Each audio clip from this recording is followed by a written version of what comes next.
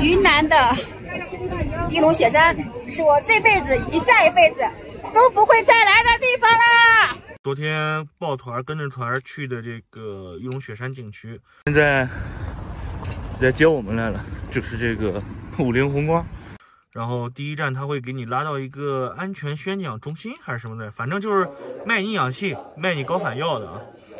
到那之后，导游还有他这个什么宣讲中心的安全员会不停的跟你说，我们的轿厢是密封的，然后你一个人大概需要四到六罐氧气，然后坐这个缆车的时候用一罐，在山上用这个两罐，然后下来的时候再用一罐，然后可能说身体不好的需要的更多，然后还有高反药。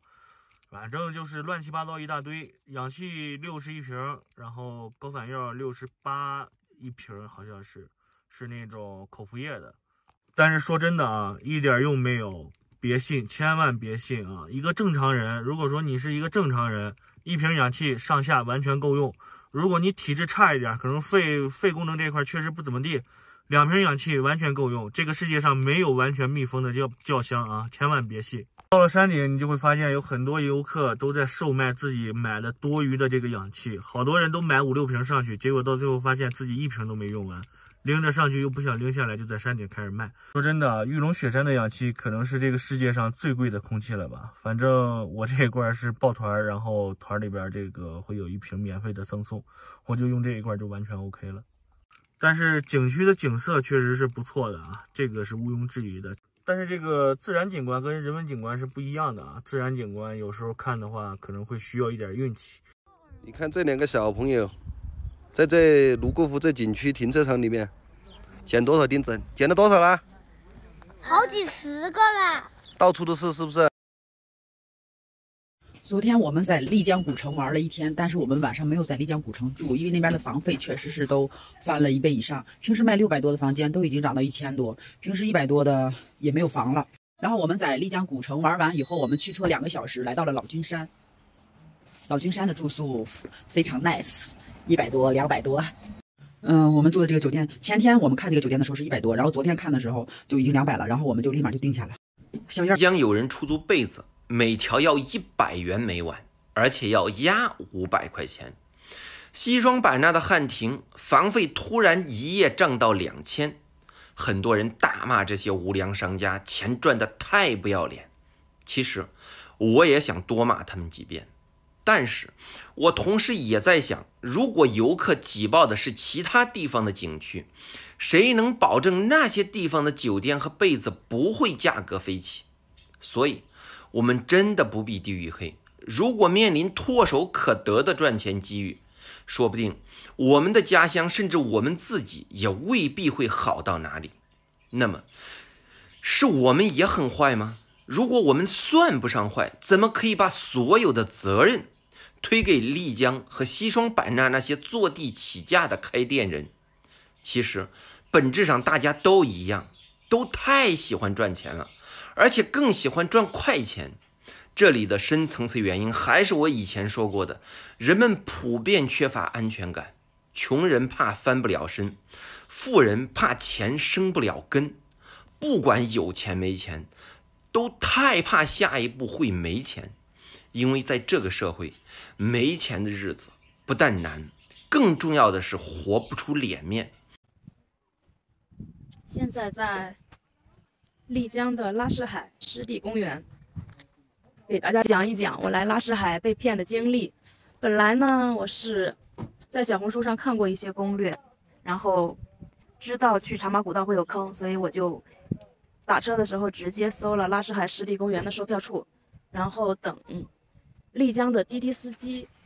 来接单的时候，他又问我去拉市海的湿地公园呀，他在南边，南边的景色很一般。如果要玩的话呢，可以去拉市海的北边，这边有茶马古道可以玩。然后我就听他说的挺认真，然后我就临时把那个地点从拉市海湿地公园修改到了茶马古道拉市海售票处。到了那之后呢，你一下车那儿就会有茶马古道的，呃，也不知道是不是正规的志愿者导游吧，就把你拉过去给他讲，给你讲。在茶马古道，他们有几条旅游旅游的路线呢？可以骑马呀，去什么原始森林呐、小溪呀，然后去什么玫瑰庄园呐，最后还包括这个拉市海湿地公园的门票。我本来是，反正就是因为我吧，就是没有拒绝成功，没有拒绝成功呢，反正最后他就是以一百九十八的价格，反正卖给我一个 B 线路的套票，就这样我就稀里糊涂的坐上了茶马古道之旅。然后第一站就是让你骑马，你就跟着他那个当地的老师傅往里走。往里走的时候呢，又会有那个当地的阿姨。我说说骑马路上你那个脚会有很多泥，然后骑马手会磨破，让你买他们的鞋套和手套。好像要我，我不知道是手套就要我三十多还是怎么着，反正我当时，我当时就知道我可能已经上当受骗了，所以呢我就什么都没要，我说我不需要，然后直接坐上那个马就走了。走了是一个大概快七十岁的老师傅。就拉着让我上马，然后他自己也拉着一个马，就两匹马，我还有那个七十多岁的老师傅，一起去了茶马他们的那个过了村庄，上了一个野山林，就是所谓的原始森林。